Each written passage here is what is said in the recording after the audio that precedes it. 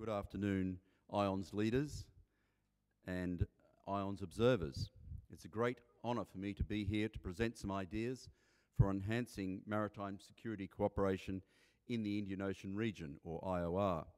My presentation, in fact, nicely complements that given by Professor Michael L'Estrange, although we didn't share notes beforehand. A little bit of overlap, but generally I think uh, it's a nice fit.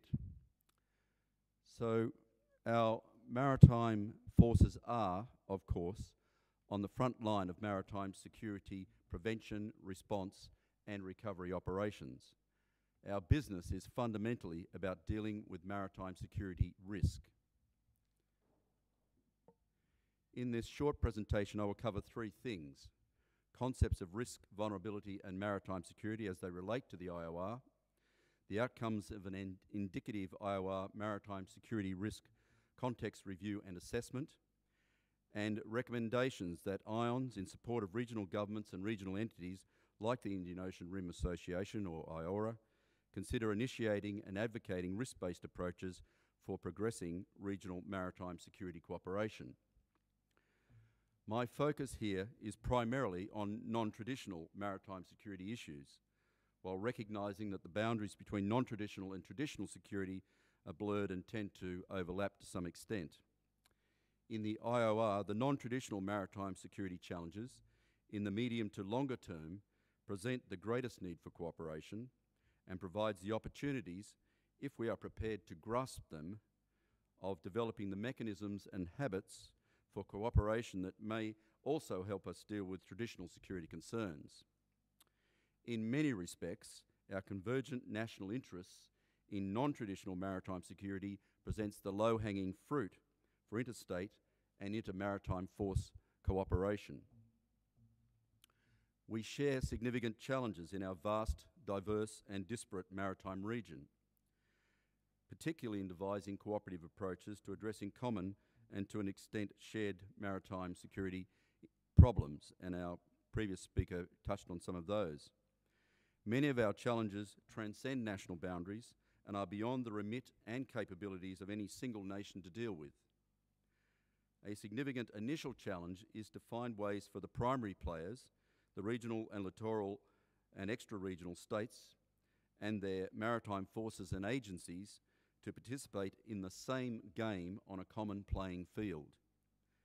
So our first task, therefore, is to find a common basis for understanding the problems and developing options for dealing with them as we work toward common approaches, they, they need to be based upon shared perspectives that will underpin uncontroversial and non-threatening collaborative strategies for enhancing mutually beneficial maritime security. Approaches to maritime security built upon shared perspectives of risks and vulnerabilities, supported by tried, tested and widely employed risk management frameworks offers mechanisms and processes that can help us with this task. Risk management approaches, if employed assiduously, can help us develop shared understandings of threats to our common objectives and importantly can help us identify shared opportunities for mitigating commonly held risks and reducing vulnerabilities. Those of you with an intellectual bent wishing to explore the academic thinking behind risk in an international context might look at Ulrich Beck's World Risk Society and related works. Here in our practical world, the International Organization for Standardization, or ISO 31000-2009, Risk Management Principles and Guidelines presents an internationally accepted conceptual framework and process, a structured approach to dealing with uncertainty. Now, I am not advocating that ISO 31000 provides the entire answer to our quest. However, I suggest that it provides a very useful starting point. Some of you will be familiar with this document and others less so. Let me identify some essential elements and relate them to the IOR Maritime Security Challenge. Risk is defined as the effect of uncertainty on objectives. This simple and concise definition seems straightforward. However, it assumes the existence of some kind of organisation that has objectives. In the IOR maritime security case, our primary focus needs to be on the integrating and interconnected nature of the sea as it affects the shared objectives of those ashore. Viewing the IOR as a virtual organisation that is an open, expansive, and inclusive maritime system, a composite oceanic and littoral region in which regional and extra regional actors have common objectives, interests, and shared risks and vulnerabilities, presents a workable basis for our purposes. There are three broad phases to the risk management continuous cycle. Firstly, establishing the context, which entails articulating objectives, defining the parameters, and setting the scope and criteria. Note that the need to understand the security context is consistent with traditional military strategic concepts advocated, for example, by Clausewitz and Corbett, that emphasize the importance of understanding the nature of a war or a conflict. Secondly, risk assessment, which is the overall process of identifying, analysing, and evaluating the risks. And then risk treatment, which involves selecting and applying options for removing, modifying, or tolerating risks. Unlike risk, there is no single internationally accepted definition of vulnerability. We need a workable definition because, in assessing risk to security, the probability and scale of hazards are often not numerically measurable. Qualitative, qualitative analysis is required in addition to quantitative analysis. The actions of irrational actors, like suicide bombers, and the cumulative impacts of climate change, for example, are almost impossible to predict with any degree of confidence. For our purposes, vulnerability can be defined as the state of susceptibility to harm from exposure to risks posing unquantifiable uncertainty combined with insufficient capacities to prevent, respond, or adapt. And finally, there is no internationally accepted definition of maritime security. Professor Sam Bateman, an esteemed colleague of mine, characterized the inability for regional countries in the Asia Pacific to agree on a definition as a basic wicked problem that presents difficulties for endeavours to develop regional cooperative approaches we need to think about security in its broadest and most inclusive sense, particularly as it intersects and overlaps with notions of economic, environmental, energy, human, and food security in the maritime domain. I have devised and recommend for consideration a definition for our work in the IOR as follows. Maritime security is a comprehensive concept that derives from the systemic nature of the maritime domain, presenting multiple and interrelated requirements for cooperative security by state and non-state actors. It addresses traditional and non-traditional security challenges. Maritime security involves coordinating collective and cooperative risk mitigation and vulnerability reduction efforts in order to protect and promote national, regional and global vital interest objectives and core values, including those relating to state sovereignty, freedom of navigation, economic development, environment and ocean resources, human and social development, and political stability. I will now briefly outline the product of my evolving independent strategic level review of IOR maritime security risks and vulnerabilities that is very much a work in progress a strategic risk assessment for a region as large, complex, and varied as the IOR requires the combined efforts of many experts being drawn together. The Maritime Security Risk Context Review is presented under the following headings. And again, there's a little bit of overlap here with the previous speaker, of course. Law of the Sea, Economy, Trade and Globalisation, Energy, Environment and Ocean Resources, social cohesion and development, potential for interstate conflict, and regional security architecture. A time horizon of 30 years and beyond is necessary to consider trends for issues like climate change. Generic strategic objectives for the IOR are presented at the end. So the key elements under each heading are as follows. Law of the Sea, Maritime sovereignty defines rights and responsibilities and underpins traditional security issues like border security, as well as non traditional security factors like resource and environmental exploitation and management.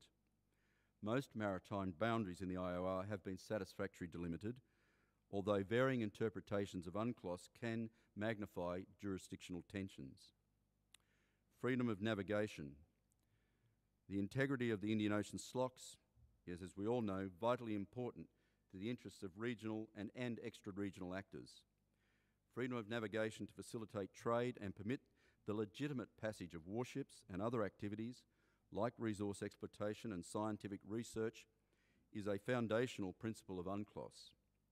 Restriction on transit, for example, through the Straits of Malacca, Hormuz, and Bab el Mandeb can be problematic.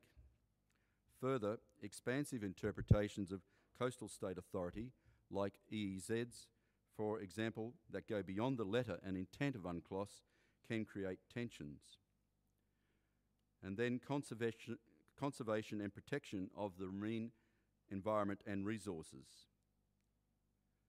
Comprehensive integrated approaches to oceans governance advocated by UNCLOS are not being implemented in many areas within the national jurisdiction in the IOR, although there are efforts in this direction. Similarly, efforts to promote integrated oceans governance in the high seas are at a nascent stage and many IOR littoral states have limited capabilities to effectively police their maritime jurisdictions. Economy, trade, and globalisation. The emergence of prominent, prominence in the IOR economically is well documented. Uneven economic development is profoundly evident, and while some economies in the IOR continue to experience strong growth, many regional economies are largely commodity based and the economic outlook is fragile. The pressures of globalisation are heightened in the IOR due to grossly uneven effects for states, institutions, and peoples.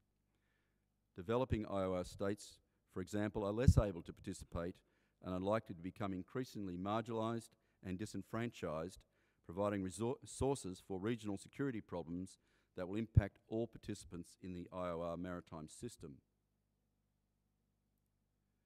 Energy. Energy security in the IOR is crucial to global and regional economies, and access to West Asian oil remains a vital issue. Note I said West Asian, not Middle Eastern. Well, I think we need to move on from the colonial um, names of the past. The IOR SLOCs are the most, world's most strategically important energy trade routes. The geopolitics of world energy is changing. The imperative for the world's greatest sea power, the United States, to support energy security in the IOR is declining, while the strategic states for China and India, for example, continue to rise. India, for example, has a 132% forecast increase in energy demand through to 2035, and most of this is to be imported by sea. Environmental and ocean resource issues exacerbated by the impacts of climate change, are emerging as the greatest maritime security related challenges for the IOR in the medium to longer term.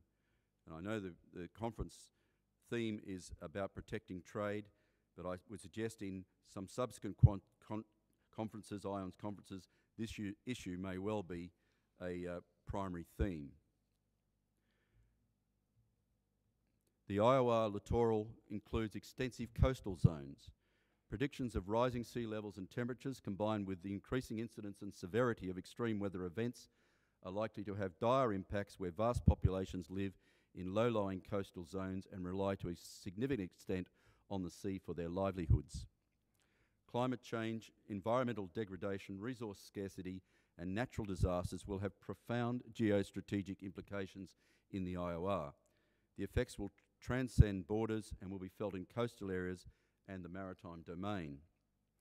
Many IOR states are extremely vulnerable and have little capacity to adapt and respond. Social cohesion and development. The IOR is known for its societal diversity, complexity and conflict. The IOR harbours the majority of the world's refugees, internally displaced persons and international migrants seeking a better life. Massive migration generates enormous economic, social, political, and security challenges that are likely to intensify and have ma major implications for regional stability and maritime security. Social, political, and economic disintegration in the IOR provides a fertile environment for the proliferation of law and order issues. Organised crime flourishes where institutions are weak or non-existent. And now to the potential for interstate conflict. The largest emerging issue is the strategic rivalry between China and India, which until recently had entailed territorial disputes on land. China, India, and other states that have hitherto relied upon US assured maritime security must increasingly look to providing their own security insurance. China and India are making considerable investments in naval forces.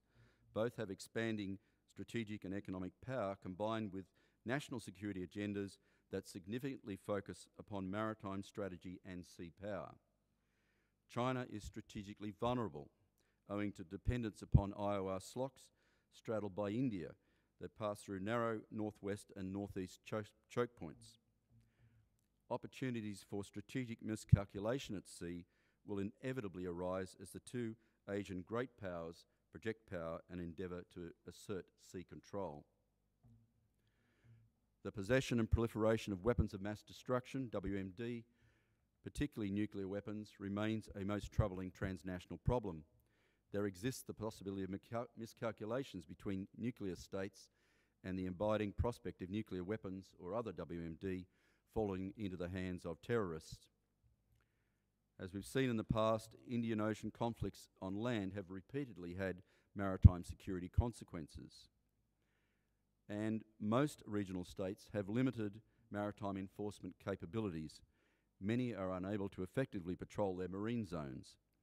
The lack of national capabilities is exacerbated by the lack of cooperative bodies to coordinate sparse resources and manage crises and the involvement of external states can help to stabilize regional security. In many cases, such involvement is essential to make up for shortfalls in the security capabilities of regional states, although external intervention is not universally welcomed.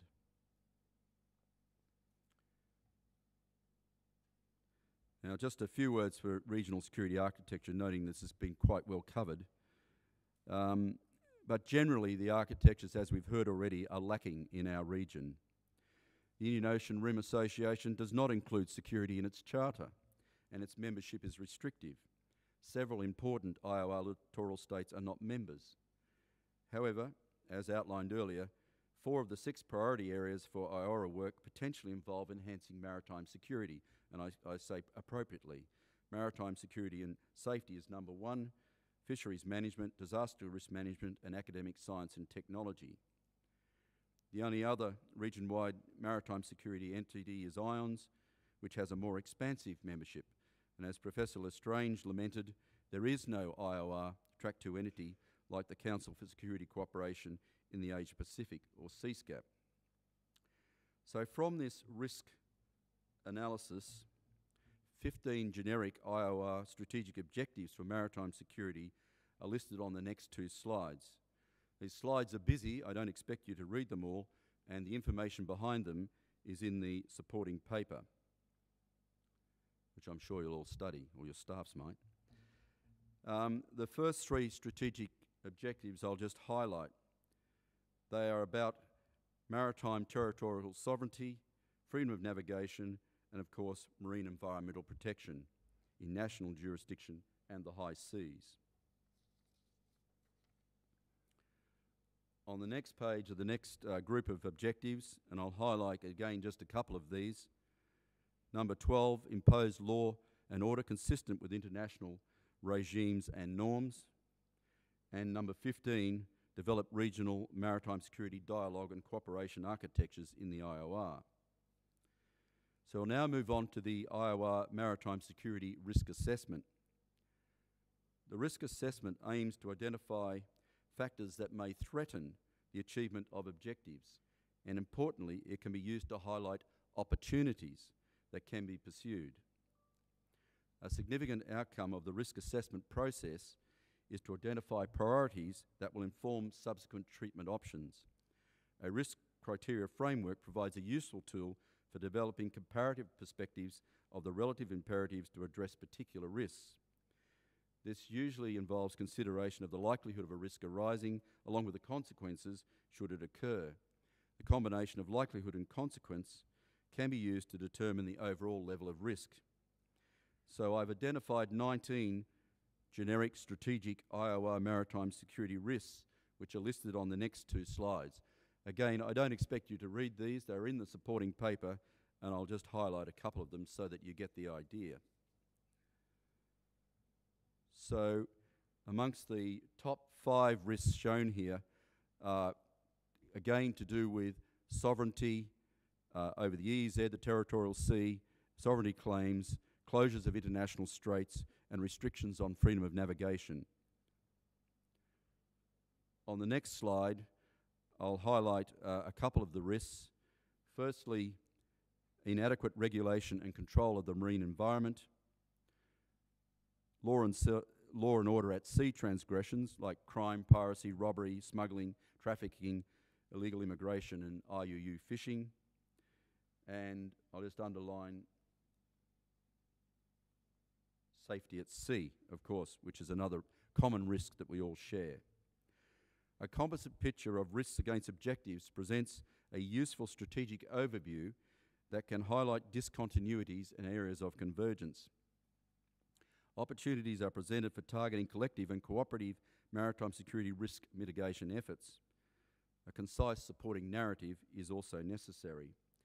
So on this busy looking schema, basically what you're seeing is a overall IOR maritime security risk assessment matrix um, the numbers relate to the 15 strategic objectives down the y-axis and the 19 maritime security risks uh, across the x-axis at the top.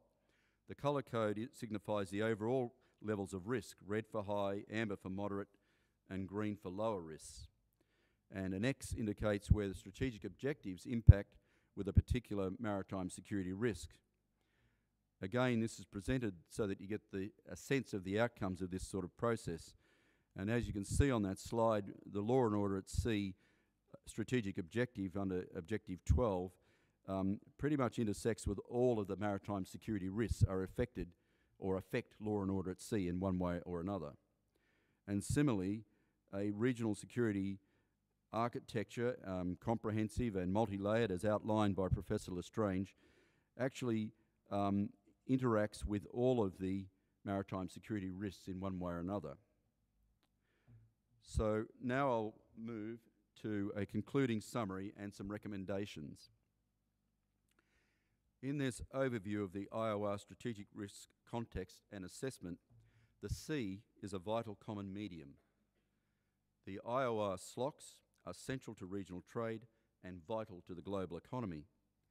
And as the global economic and strategic balance swings towards Asia, with India, Indonesia, and other IO states emerging, and as an increasingly powerful China looks south and west, so the geopolitical focus on the IO magnifies.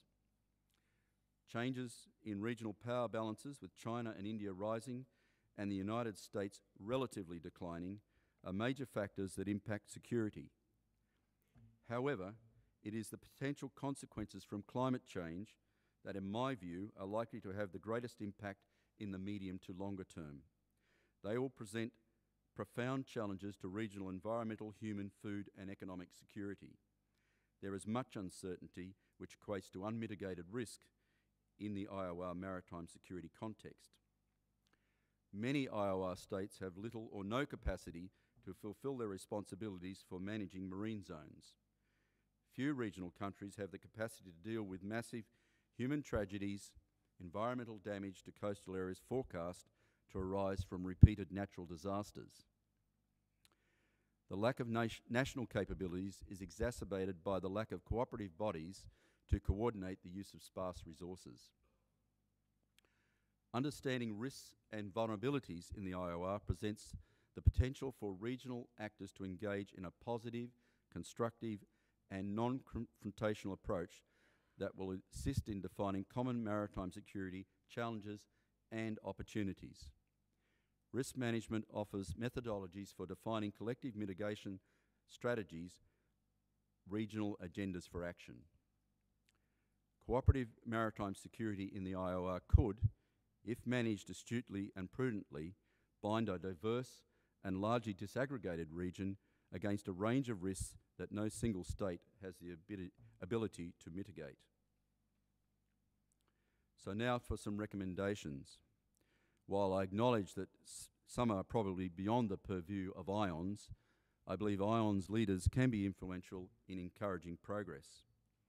Firstly, and again this is consistent with our previous speaker, there is a need to commission a multinational, multidisciplinary team of experts to conduct a regional strategic risk assessment with a specific focus upon maritime security, leading to proposals for enhanced IOR maritime security cooperation. This could start as an IONS initiative. Recommendation that IONS encourage IORA to expand the priority agenda to include the maritime aspects of climate change to complement maritime safety and security, disaster response, and fishing. IONS should encourage expansion of IORA membership to be more inclusive of IOR participating states.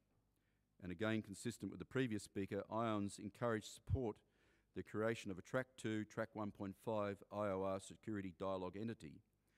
The Indian Ocean Research Group could provide the foundation if appropriately supported and resourced.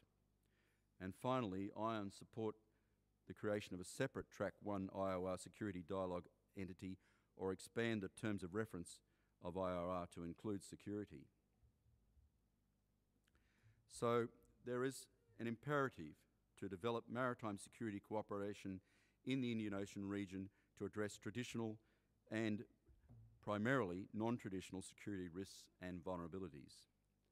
The maritime domain is where the collective interests and common security concerns of regional and extra-regional states largely converge.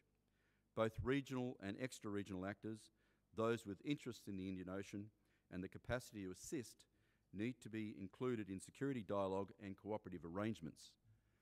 Combined risk, vulnerability and security approaches, in my view, offer the potential to move forward. Thank you.